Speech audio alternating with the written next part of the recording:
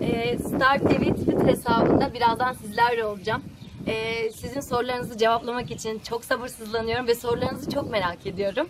Ee, inşallah beni zorlayacak sorular olur.